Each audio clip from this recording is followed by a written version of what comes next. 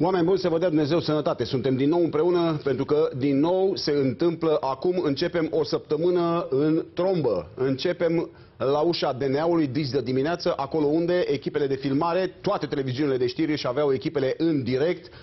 Uh, domnul Liviu Dragnea, șef al Camerei Deputaților și președinte PSD, Uh, intra pe ușa DNA-ului pentru a primi informarea zguduitoare pentru el că este subiect de dosar penal, de data asta un dosar foarte grav, un dosar despre care nu se mai poate spune că e făcut politic. De ce nu se mai poate?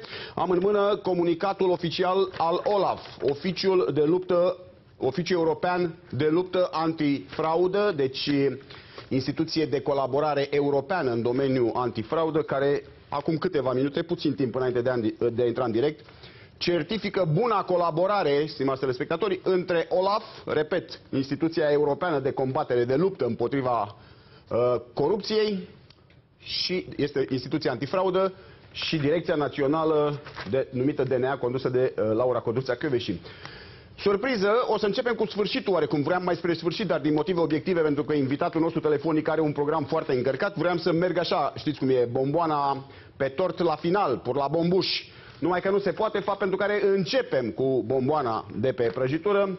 Unul dintre oamenii foarte cunoscuți în România și consilier al premierului Tudose, nici mai mult, nici mai puțin, i-a cerut demisia domnului Dragnea după cele întâmplate azi. Se numește Gheorghe Pipera și îl salut. Bună ziua, domnule Pipera. Bună ziua, vă salut. Vă mulțumesc pentru amabilitatea de a intra în legătură telefonică uh, cu telespectatorii B1 TV. Spuneți-mi cât de grav este pentru România ca exercițiu de guvernare și cât de grav este pentru România ca poziție în Europa ce s-a întâmplat astăzi. Ați remarcat că nu vă întreb cât e de grav pentru Dragnea. Da, uh, permiteți-mi mai întâi să vă spun că sunt un pic surprins de interesul uh, pe care l-a stârnit uh, o simplă postare mea pe Facebook, dar hai să zicem că uh, a putut să pară ceva surprinzător. Uh, pe de altă parte, permiteți-mi să vă spun că uh, vreau să vorbesc în calitate de cetățean informat, de uh, profesor de drept și mai puțin în calitate de consilier al premierului, poziție care de altfel este onorantă pentru mine. Ceea ce vreau să vă spun este că nu acum s-a întâmplat ceva surprinzător. Acum, după părerea mea, s-a cam umplut paharul.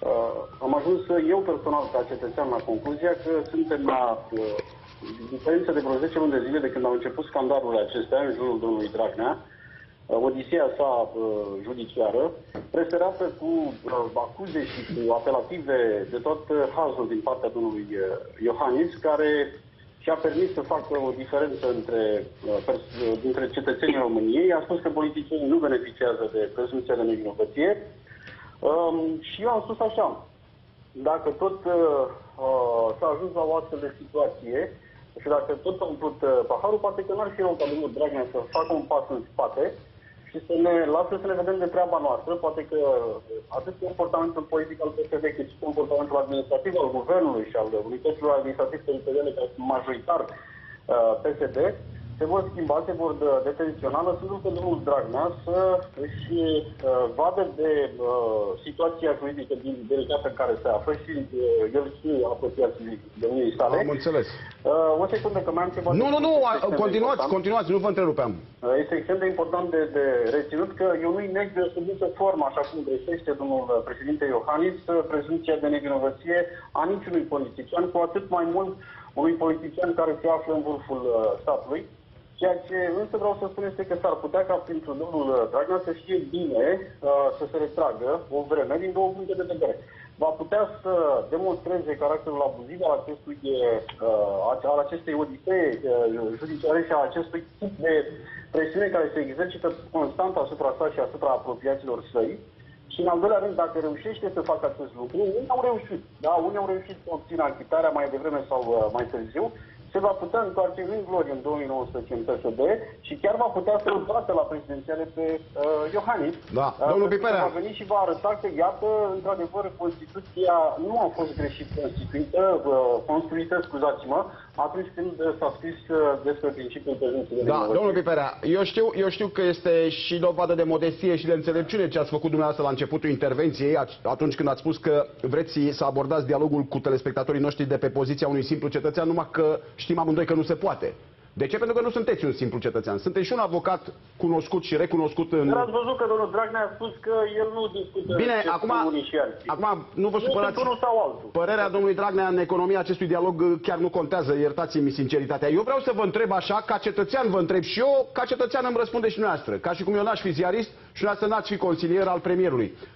Afectează faptul că al treilea om în ierarhia constituțională a României și șeful politic al premierului țării noastre are această bombă penală pe umeri începând de azi dimineață?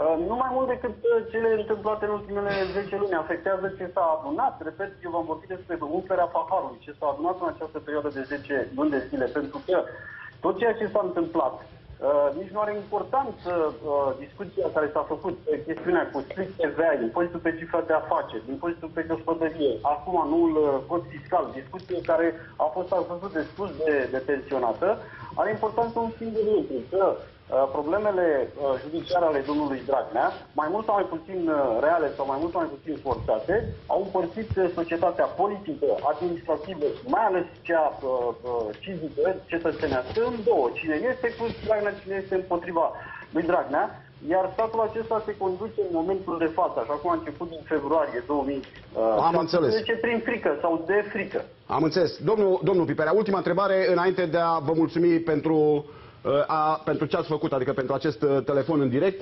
Uh, Taie de un regizor pe general un pic, că m-am ridicat, prietene. Mersi mult. Domnul, domnul, domnul Piperea, îl avem în imagine pe domnul Dragnea, iar la, tele, la telefon vă avem pe dumneavoastră. Sunt foarte mulți români, am convingerea, care se pot gândi, atenție cum am formulat, nu care gândesc, care se pot gândi că Tudose, presat fiind în actul de guvernare și influențat negativ de conducerea politică a domniei sale numită Liviu Dragnea, v-a pus pe dumneavoastră, unul dintre apropiații și oamenii domniei sale de încredere, să ieșiți cu această postare pe Facebook, deci în presă. Scenariul cât se poate de nerealist și de... Nu, nu vreau să folosesc cuvântul fals ca să nu vă uh, jignesc. Scenariul cât Nu, se nu, că poate nu e al de meu, nu nerealist. N-am mai mi-aparține. vorbit. Nu mă puteți jigni că nu mi-aparține. Eu m-am pus în pielea celor care ar N-am putea mai gândi spus- așa. Scenariul cât se poate de nerealist, vă spun un lucru și asta este și un semi-reproș la adresa domnului premier. N-am mai discutat nici măcar pe WhatsApp sau pe SMS cu domnul premier de mai mult de o lună de zile, deși încerc. Uh, deci nu are absolut nicio legătură. Serviciile secrete care mă monitorizează și cu atât mai mult îl monitorizează pe domnul Tudor se vă pot confirma. O să Vă aveți monitorizează probabil- serviciile secrete. Vă Da, o să monitorizează. aveți probabil o confirmare pe WhatsApp sau Foarte pe, tare. pe Facebook. Că Ați nu citit, am avut uh, nicio discuție am promis cu- că e ultima întrebare, dar uite că nu mă țin de cuvânt, ca un om uh, mai puțin serios. Ați citit comunicatul directorului Olaf? Acum câteva zeci de minute a venit. Nu, din păcate nu. Sunt Vreau să și vă acum spun, sunt prins într-o... zice așa, zice așa și vă întreb ca jurist uh, de, de calibru ce sunteți. Zice așa în final, că acest, uh, ce se întâmplă acum arată comunicarea foarte bună și colaborarea foarte eficientă dintre Olaf și autoritățile competente în România. Mă refer la DNA. Cum, cum să traducă românii punctul de vedere al acestui oficiu european de luptă antifraudă? E o reclamă foarte proastă pentru DNA. Înseamnă că DNA-ul nu, dă- nu DNA-ul și-a făcut treaba, așa cum de multă vreme se pot spune că nu-și face treaba chiar DNA-ul, ci e ajutată de alte instituții cu care are protocoale. E o reclamă foarte proastă, dar da, bineînțeles, pe partea de uh, corupție, spălarea banilor, infracțiuni uh, de criminalitate, criminalitate organizată, sunt uh, colaborări care se fac în între astfel de uh, instituții. Vă mulțumesc foarte mult și vă, Vă mai cer aștept, și vă mai aștept în emisiunea noastră. A fost Gheorghe Piperea la telefon, avocat și consilier al premierului Tudose. Un om care cu subiect, mă refer la domnul Piperea, cu subiect și predicat, i-a cerut capul astăzi, după cum ați auzit și în emisiunea noastră, în mod explicit, domnului Dragnea, s-a umplut paharul pentru Dragnea, scrie și pe ecran. Uh, repet, uh, domnul Piperea nu este fiște cine. Dar îi satisfacem uh, doleanța de a-l trata în această emisiune pe domnul Piperea ca și cum ar fi un simplu cetă- cetățean pe care noi l-am sunat să-și dea cu părerea. Nu este adevărat. Și eu mă bucur că un om care gândește și care acționează ca domnul Piperea a cerut public plecarea de la uh, cârma Partidului Social Democrat, cel mai puternic partid și partid de guvernământ în România, pentru că, vedeți și în imagini, unde s-a ajuns. Imaginile acestea, stimați telespectatori, au făcut în conjurul Europei și nu doar al Europei. Toate agențiile mari de știri au arătat ce se întâmplă la București cu președintele Camerei Deputaților. Vreau să vă spun ceva. Și astăzi, pentru că am văzut ce s-a întâmplat la sfârșitul săptămânii trecute, am renunțat la invitați. Aveam invitați, nu vă dau numele. Unul dintre invitații mei a avut un mic necaz în familie și îi sunt cu totul alături pentru că mi este bun, bun prieten. A avut o mică problemă cu copilașul și uh, oricum îl rugam să nu vină, dar, repet, emisiunea vă este dedicată și am să vă spun de ce în totalitate. Am deschis deja telefoanele, doi, doi români sunt deja pe fir de câteva minute bune și le cer scuze. Niciodată, mi-am dat și eu seama, eu neabordând, eu neabordând din scârbă, din... Uh, lehamite, din... Uh, hai că poate și din puțină inteligență, neabordând subiectele astea cu prosteala asta uriașă, numită război al cătușelor, imagini de-astea de la DNA, am obosit, am obosit. Uh, stomatologul meu, de mare excepție, are cabinetul față în față cu DNA-ul. Mai mă duc și eu să-mi fac dinții, că de la o vârstă în sus dinții trebuie să refăcuți. Frate, nu vrei, nu vrei să știi și acolo. Meca. Meca și Medina la un loc. Sunt acolo, pe, pe știrbei vodă. Am obosit, am obosit să-i văd cum ies cu parpalacele pe ei, cu cătușe, cu... bun. Dar mi-am dat seama astăzi și îmi fac așa un fel de mea culpa, că niciodată subiectul ăsta la emisiunea se întâmplă acum, singura emisiune unde telefoanele sunt deschise necenzurat pentru cei de acasă, indiferent unde e casa lor, la, uh, în Catalonia, în Frankfurt, în uh, Italia, în Sicilia, unde vreți, în România, la Ciulnița, la Baia Mare, la Satul Mare, la Constanța. E perfect m-am gândit, băi, vocea românilor s-a auzit vreodată în speța numită Dragnea? Nu, niciodată. Hai să o auzim. Uh, deschidem astăzi telefoanele, nu înainte de a vă arăta o femeie foarte frumoasă și, credeți-mă, m-am documentat cât am putut și eu astăzi, foarte deșteaptă. Foarte deșteaptă și foarte frumoasă. Haideți să vă prezint întâi video și audio, sunați-vă prietenii și vecinii. Uh, Veverița face carieră și vă prezint în premieră. Povestea mea începe în anul 1984, într-un oarecare loc din sudul României, într-o familie absolut normală.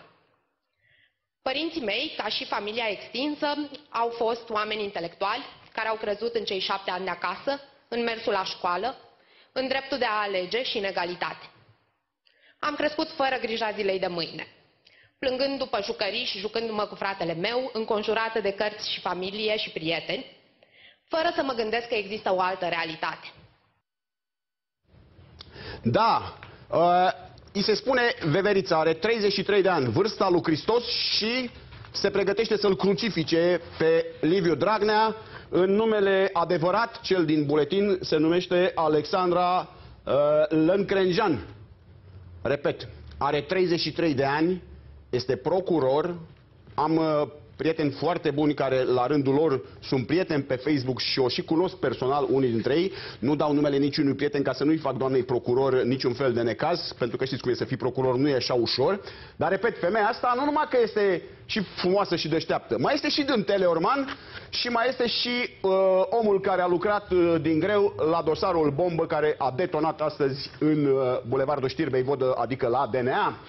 Veverița, procurorul din Teleorman care a lucrat la dosarul bombă, Alexandra Lâncânjan, are 33 de ani, procuror de elită și este din... Cât de ironică este soarta uneori? Este din Teleorman. Iubește dreptatea, drepturile omului, comunicarea cu cei din generația ei și tinerii care vin din urmă. De ce spun asta? Pentru că am văzut-o, am auzit-o, am căutat și m-am documentat. Filmul preferat al femeii din imagine, repet, procuror în dosarul acesta absolut halucinant, care credeți că poate fi filmul decât La Piovra, Caracatița? Iar personajul după care se dă în vânt doamna este, în mod firesc, comisarul antimafia Corrado Catani, eroul principal din Caracatița. Vorbeam cu Teddy Mureșan, producătorul, zic, hai mă să facem și noi așa un filmuleț cu care ar fi fost super, dar ne-ar fi luat toate emisiunea, pentru că și mie îmi place foarte, foarte mult acel serial fabulos în care lupta antimafia a procurorilor italieni este arătată mai puțin romanțat, așa mai documentaristic. Am avut privilegiu și cu asta termin uh, paranteza legată de distința doamnă Lâncrânjan. Am avut privilegiu ca jurnalist cu ceva ani în urmă să merg acolo unde mafia a aruncat o bucată de autostradă în aer pentru ca Borsellini, un mare procuror antimafia, să sară în aer cu mașina și să moară. Au aruncat autostrada în aer. Wow! Și nu era singurul. Povestea luptei antimafia în Italia este fascinantă, fascinantă. Poate odată o să facem o emisiune, mai ales că mai am, cred, pe undeva îngropate pe la Băneasa, mai mă duceam ceva ani în urmă și îngropam casete. Era un joc de societate, să îngropăm caseta, să vedem dacă mai găsim peste ani. Îngropam casete la Băneasa, de astea care mi se păreau mie că peste ani vor face carieră. Una dintre ele conține imaginile cu locul unde a fost asasinat uh, procurorul antimafia despre care vă vorbeam. Uh, deci, repet, doamna din imagine, Alexandra Lâncrăjani, se spune Veverița, are 33 de ani, este procuror, este din Telorman și este unul din ar, dintre artizanii dosarului care astăzi a explodat în, uh, în, în DNA. Mai avem o informație foarte importantă, foarte importantă. Uh, colega noastră, Lili Năstase, a avut o corespondență cu Olaful, cu Oficiul uh, European de Luptă împotriva uh, corupției, antimafia. Haide, haideți să dăm pe post imagine, o să vedeți imediat imagine. Document. Corespondența colegei noastre Liliana Năstase, senior editor și, dacă vreți, juristul numărul 1 al postului nostru de televiziune, în anul, atenție, în anul 2012, Liliana Năstase, aveți deja pe ecran, coresponda cu Olaful și le cerea să confirme sau să infirme implicarea lui Liviu Dragnea în activitatea de cercetare și anchetare pe care o fac experții Olaf în cazul unor sume europene, bani europeni fraudate. fraudate. Avem și răspunsul Olafului, imediat o să-l vedeți, îl punem imediat pe ecran. Asta este solicitarea pe care a făcut-o în noiembrie, pe 15 noiembrie. Sunt exact 5 ani. Exact 5 ani. De atunci uh, o făcea Liliana Năstase către centrul, către departamentul Olaf, oficiul de luptă antifraudă uh, în Europa. Dă și răspunsul, Teddy, să vedem cum... Uh, uh iată, avem imediat pe ecran răspunsul dat de Olaf Uh, Lilianei uh, Năstase de la B1 TV. Hai, prietene, hai să-ți trăiască ție. Hai, te duci, dă răspunsul. Iată și răspunsul. Dragă Liliana Năstase, îți mulțumim pentru întrebare, l-aveți pe post. Olaf confirmă și citiți voi mai departe, confirmă că se lucrează uh, la acest dosar împreună cu autoritățile române, da? Și uh, se se confirmă prin aceste documente faptul că Dragnea, Liviu, era în atenția Olaf încă în 2012. Ceea ce nu vrea, multă lume nu vrea să comenteze. Am auzit foarte puține voci și alea pițigăiete, așa puțin strânse de ouă, strânse de gât, da? Nu vor să confirme faptul că cineva în 2013 a închis acest dosar. Dragnea a spus ceva, dar așa cu jumătate de gură. Ei, uh, multe elemente din dosarul pe care îl vedeți aici confirmat în 2012 Lilian Năstase de către Olaf sunt în dosarul care astăzi a explodat și s-a transformat în cinci capete de acuzare la adresa lui uh, Liviu Dragnea, începând cu crearea unui grup infracțional, continuând cu abuz în serviciu și cu fraudare de fonduri europene. Bună seara! Deschidem sarabanda telefoanelor, mergem la Sân Nicolau Mare. Salut, Vasile, ești în direct. Te trăiești, domnul Barbu. Ia zi prietene, întrebarea emisiunii. Dosarul care a început astăzi, care da. a izbucnit astăzi, în, din punctul tău de vedere, reprezintă sfârșitul, începutul sfârșitului pentru Dragnea sau nu? Domnul Barbu. Da. Știți ceva? Vă rog. Nu se va întâmpla nimic. Așa s-a întâmplat și cu Udrea, așa cu cu corupție. Nu se întâmplă nimic. Ascultați ce vă spun eu. Adică e doar circ? Da, e numai circ, domnule, nu se poate. Ce s-a întâmplat cu Udrea? Și cu el alți corupți. I-a dat drumul, ăsta 24 și mai... Dragnea va fi nebun vreo două zile, trei, va sta în spital și îi va da drumul că nu e normal. Ascultați ce vă spun eu. Dacă așa s-a întâmplat și cu Udrea. Nu poate, nu... Ce că e liberă, domnule. Și te corupți ăștia. Te sunt niște hoți, niște bandiți. O furat țara și ce avem noi? Persoanele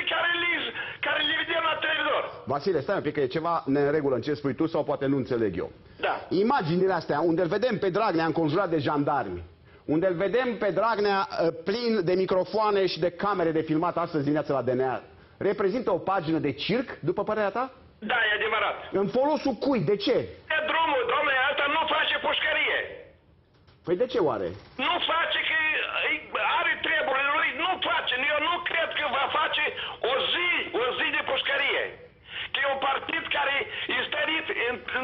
România. Dar ce? La noi să trăiește rău în România? Vasile, spune te rog frumos, ai aflat astăzi, ți-a spus cineva cât este cursul leu-euro? Nu, nici mă uitat la televizor, nu, nu mi-a spus, dar vreau să... Este cel mai mare, Vasile, Văsălie, cel Ia, mai mare... Este foarte bine. Cel cine mai mare curs. Are, cine nu lucre, nu are. Wow. așa e.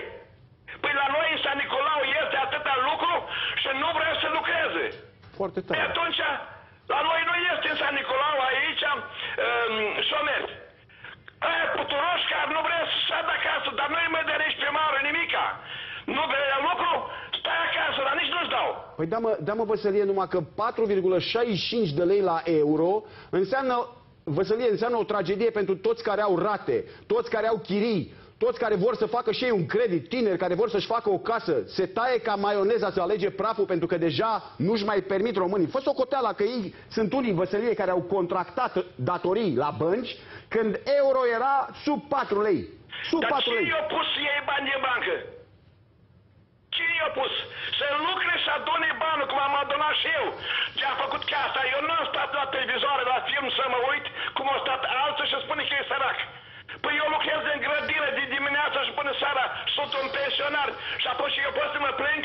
Eu am aici vecin care are uh, iarbă până la streșina căsii. Ăla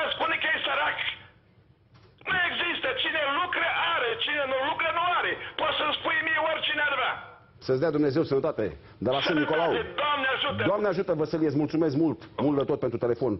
Iată un bărbat adevărat. Mie îmi place foarte mult. Îmi plac bărbații adevărați. Uite, Vasile, bărbat adevărat din Sfânt Nicolau. Bravo, mă, băiete. Bună seara, sunteți în direct. Alo? Da, alo?